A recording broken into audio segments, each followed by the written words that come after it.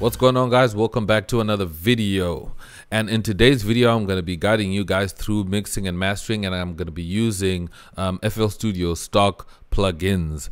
So the first thing that we want to do is create some headroom. Now what is headroom you ask? Let's go to Google. Headroom is the loudest part of your song peak level it should be around minus 3 dB to minus 5 dB below zero um, level like below zero you know under that. It's uh, this is considered um, the plus 3 dB to 5 dB of headroom. So this is just a space that you are leaving for the mastering process because the mastering process is just going to be you adding uh, more uh, loudness to your track basically. So you need to leave room to your track. So I'm going to play this track that I have open right here and I'm going to show you where it's at. So this could be your track. So when you're producing, you're not worrying about mixing or mastering. You're just worrying about uh, making your track slap or your beat sound really nice. And that's all you're worrying about. And that's all and cool. So let me play this track right now and just um, watch my mixer and see my levels. I'll just put it right here so as you can see what's going on.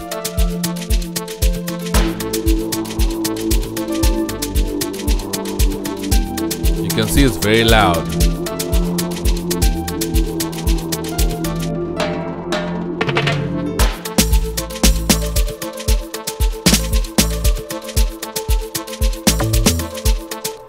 So you can immediately see that my track is going over 0 dB so which means it's loud it's coming in really hot especially the part where the log drum and the snare comes in because I wanted to really be loud and I wanted to slap so it sounds fine but um, it's not really uh, appropriate for uh, a master. So this track is not ready to be mastered. So normally what um, amateur producers do they just start adding a ton of effects here on the effects slot to uh, add mastering to this but not creating headroom. So that's what i'm going to show you now. So what we're just going to do is i have some uh, tracks that are already sent to the mixer but i'm just going to send the rest to some empty tracks. So i'm just going to select them and just press control l and just send them to uh, free mixer tracks. There we go. So you can see them all the way over here. So what i'm going to do to create headroom is i'm going to lower my whole mixer down to create headroom. So i'm just going to click the first um, track here and i'm going to um, press control shift and then i'm going to just select all my mixer um, tracks and i'm just going to drop the volumes down maybe like halfway down like this so that everything comes down. Because if you just drop down the master mix like this the master fader um you st you're still getting that hot signal and so forth. So i'm just going to reset that. So if i now play back you can see that everything is now much softer. And if you if you see in here um on the tracks themselves nothing is going really loud and stuff like that. So that's how you can create instant headroom um, in FL Studio. And guys, this is like uh, beginner stuff, right? So I'm just teaching you beginner stuff. There's a, a, a myriad of ways you can do this, but um, this is an easiest way that I can give you that you can do this as a beginner while you're still trying to learn uh, the more advanced mixing and mastering techniques. Okay, now now that you have this headroom, now let's move on to the master. What you want to do into the master, the first thing is your first slot. You see here, slot one. What you want to add add is um, parametric EQ2. Now I'm going to add the parametric EQ2 and I'm going to load. You see here it says mastering. So I'm going to load the 20 hertz plus 18 kilohertz cut. And I'm just going to leave it there. I'm just going to uh, put it on there because what it does that it cuts out all these unnecessary frequencies that are um, uh, on in the areas of the EQ that we cannot hear. And just because we cannot hear these ends and what's out of this EQ range it does not mean that it's not there. It's just a safety net um, in case there's something there. So I'm just gonna drop that there. And then I'm gonna come to number 10 uh, slot number 10 that is. I'm gonna drop in um, a fruity limiter. So this is just to uh, catch any peaks or any loudness um, that will be going on um, what we, uh, what we call uh, transients uh, spikes.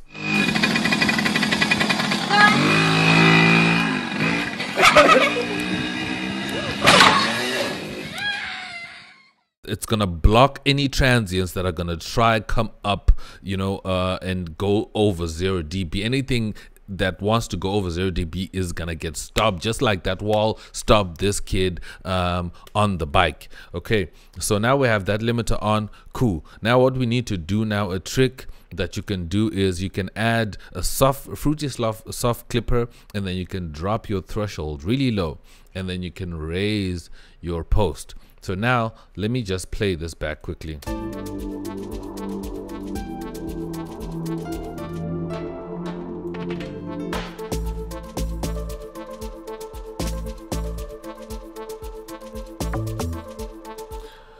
So it's still very low. We just added a little bit of uh, touching up here. It's still sounding very uh, low, but now we can start to uh, raise it up as much as we want. Now that we have all this headroom and we have all this safety net happening, you can do what you want. But um, what I would advise um, for you as a beginner is you can come into your effects and you can add um, a Maximus right? So maximus allows you it's a, it's a really powerful mastering tool. That allows you to do uh, so much on your master. Let me just make it bigger here.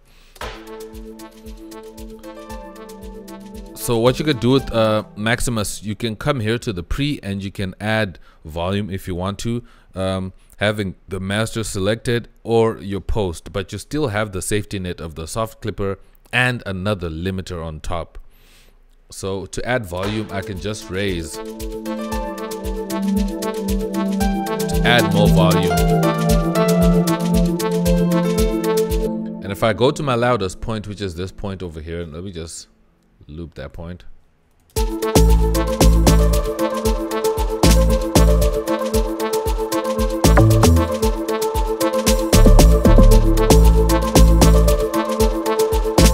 Now let's just take a look at our limiter.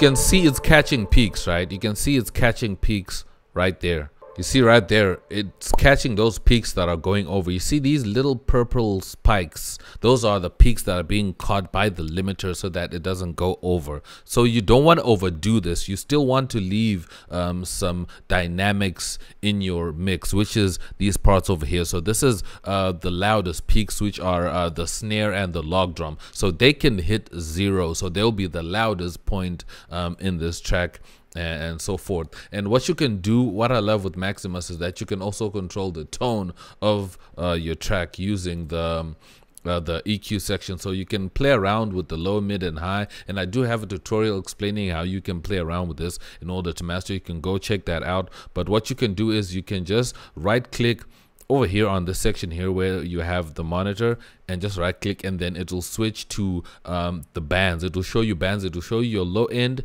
your mid range and your high end. And you can select the lows and the highs. So you can just really move this around to select the bands that you want to choose.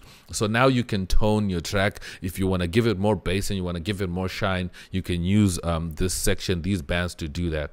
So I'm just gonna so I'm just gonna play it and then, I'm gonna play around with uh, uh, these bands and then you're gonna see what it's gonna be doing. So if I want to add more bass, I could just raise up uh, the bass side and then I can just maybe drag it down so that it's a little bit um, under a hundred. Um, 100 uh, k so that it's you know on the low end side so that I leave the the, the mid range I don't want to also raise up the mid range while I'm raising up the bass if I want to add a little bit more shine and treble I can raise it up like this and then I can you know maybe cut it out a little bit so that it only affects just the highs around here after um, 2k so let me just raise that bass